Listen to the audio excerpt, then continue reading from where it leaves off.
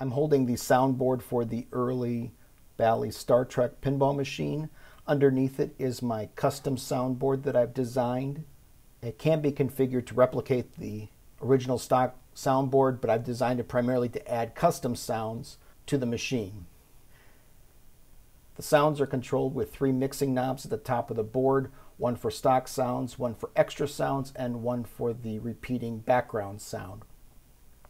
If you turn down the extra sounds and the background sounds, it'll sound like the stock board. The stock sounds for the Bally Star Trek are based around scoring.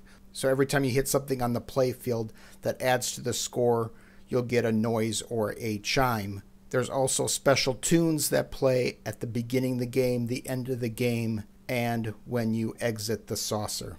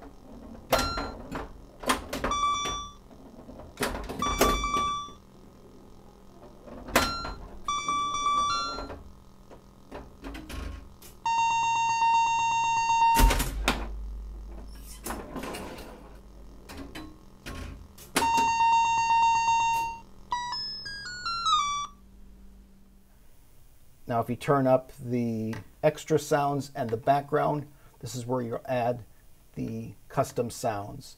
Extra sounds will take over some of the tunes and solenoid fires and the background will be a repeating background that'll come on during the entire game. What you want to listen to is a background sound that's playing through the entire game. You'll hear explosions attached to the pop bumpers. You'll hear phasers attached to the slingshots, and you'll hear a special sound attached to the saucer. There'll also be start game and end game quotes, as well as quotes at each ball eject. Pull ahead, Mr. Siegel. Maximum warp.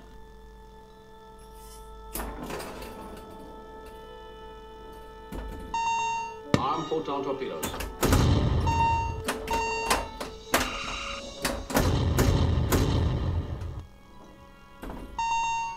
Photon torpedoes.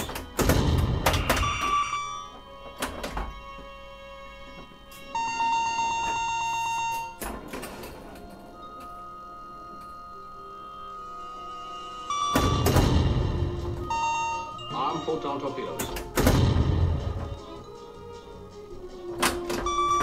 Photon torpedoes, fire!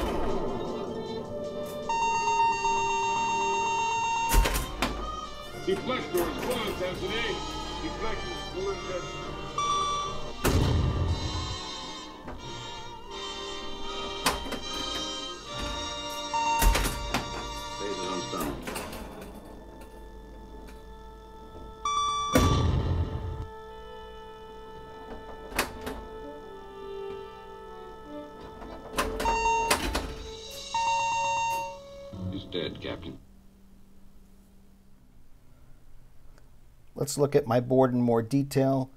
It uses the same J1 connector as the stock board, although it only uses the plus 5 power supply from the solenoid board. It does not use the plus 43 volts. It has the same 2 pin J2 connector that goes to the speaker. It has a 15 volt power supply to power the amplifier, and the rest is all powered by 5 volts.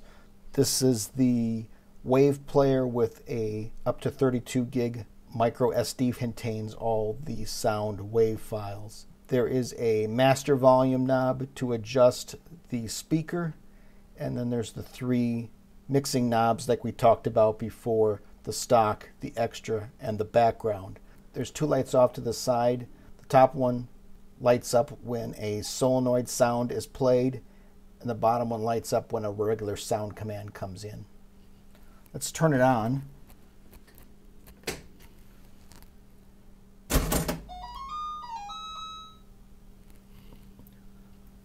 That's in stock mode. Let's turn the volume knobs up. When you press the test button, it will play the background sound along with stock and extra sounds so you can adjust the mixing knobs. Arm photon torpedoes. Scotty, energize.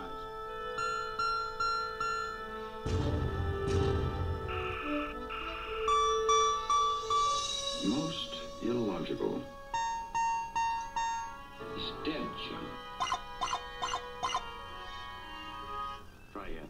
This allows you to get the volumes of each of the sound types to your liking. There is a five position dip switch on the board. The top one, which is currently set to off, is for the background sound. In the off position, it will play one background sound through the entire game. If you turn it to the on position, it'll play a different background sound for each of the balls. The second dip switch turns off and on the attract sound. In between games, when no ball is in play, a custom sound will play every three minutes. Live long and prosper. There's one right there. I've currently got that set to on. The third switch down has either one attract sound that's played each time, or if in the on position, which mine is, it'll play randomly one of 30 different attract sounds. The next two dip switches, which are off, set the sound bank. It's currently on sound bank zero. You can have up to four sound banks or four sets of files on the micro SD card that you can choose from. Currently, when I deliver the board, s- sound banks 0 and sound bank 1, the first two sound banks, are identical. You can use the sound bank 1, the second one, as a starting point to customize your own sounds. Here's the power supply. It's currently set at 15 volts. You can set this between oh, about 12 to 18 volts. I wouldn't go any lower or any higher than that. This primarily runs the amplifier, which is a 20 watt single channel amplifier. When you order one of my boards, you'll get a printed manual in the box. Phasers on stun.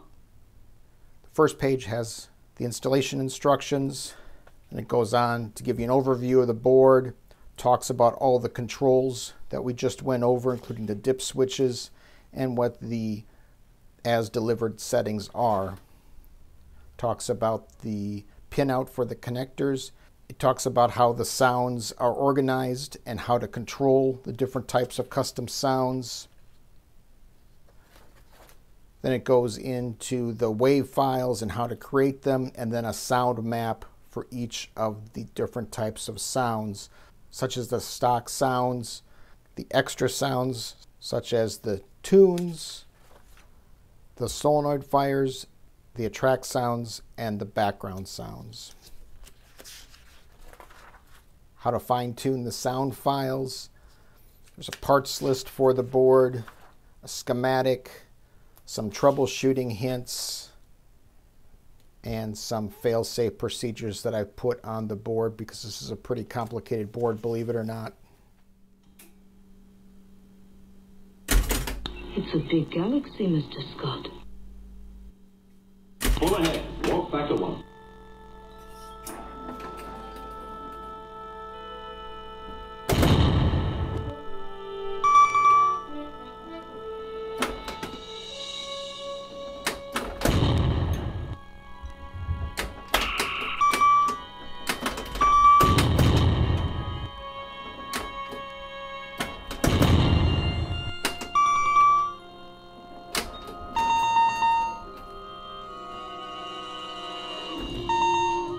Photon torpedoes.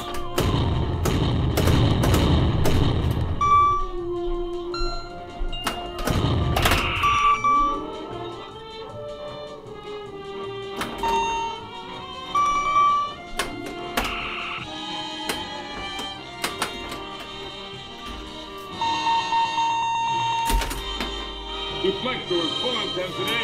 Deflectors full intensity. Armed photon torpedoes.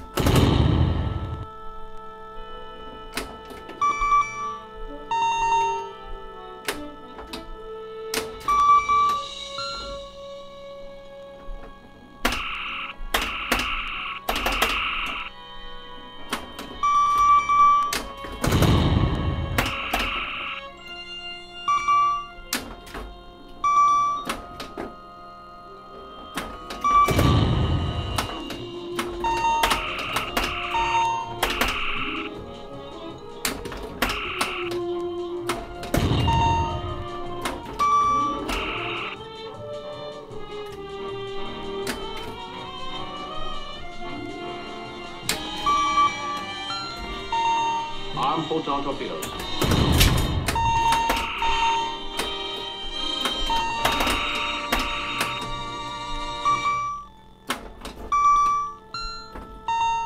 Photon torpedoes, fire!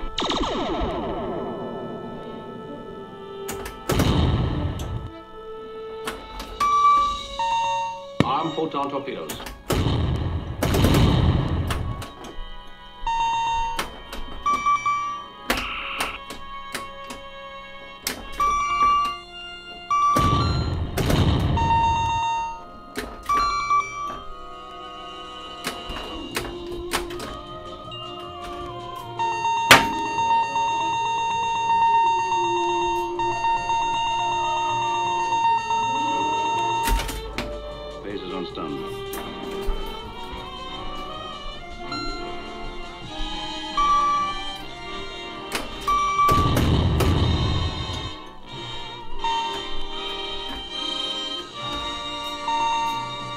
Intelligent, but not experienced. Full ahead, Mr. Sulu. Maximum warp.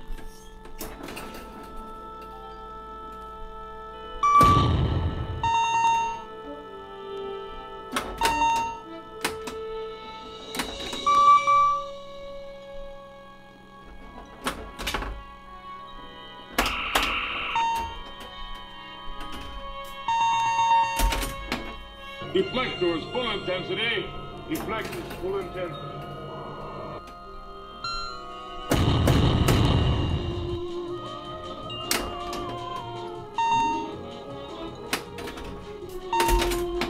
Phasers on stun.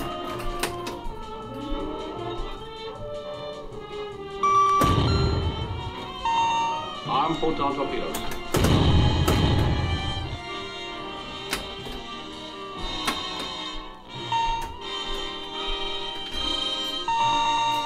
Most illogical.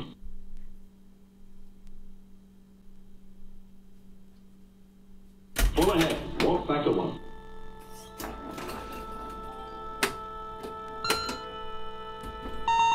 Armed photon torpedoes.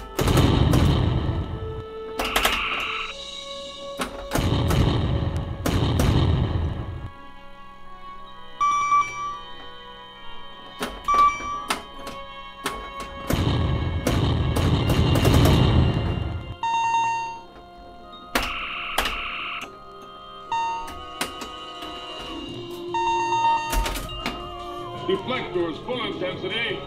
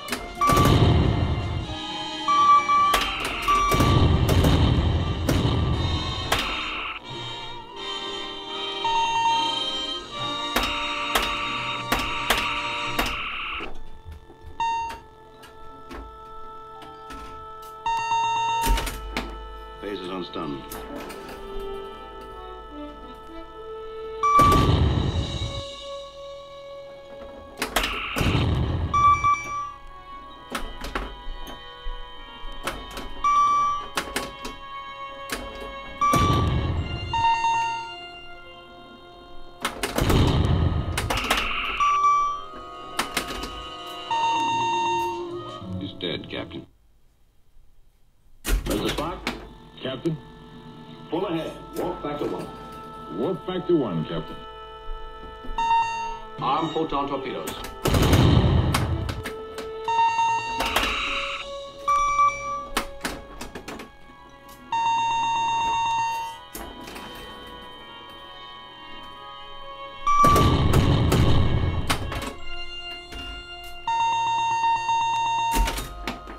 Deflectors full intensity. Deflectors full intensity.